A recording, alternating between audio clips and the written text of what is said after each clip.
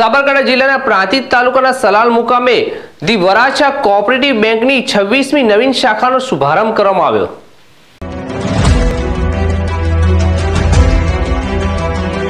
સીગા ખબરકાંઠા બેંકના ચેરમેન મહેશભાઈ પટેલ અને બેંકના આગમનથી લોકોનો ખૂબ લાભ લેવા પોપિલ કરી હતી. બેંકના आयोजકોએ ઉપસ્થિત તમામ લોકોનો આભાર વ્યક્ત કર્યો હતો. જીલ ラ વલ છેડએસટીવી પ્રાંતિત